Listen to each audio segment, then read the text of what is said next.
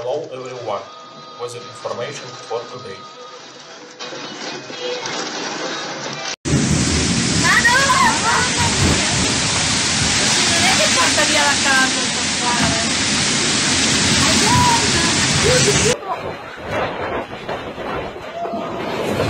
Civil Storm entre este e Tadeu.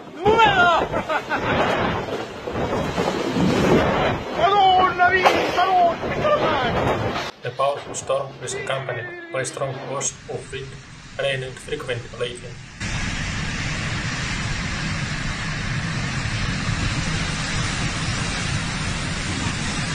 About 19,000 people were left without electricity. Firefighters, police and public utilities are on the job.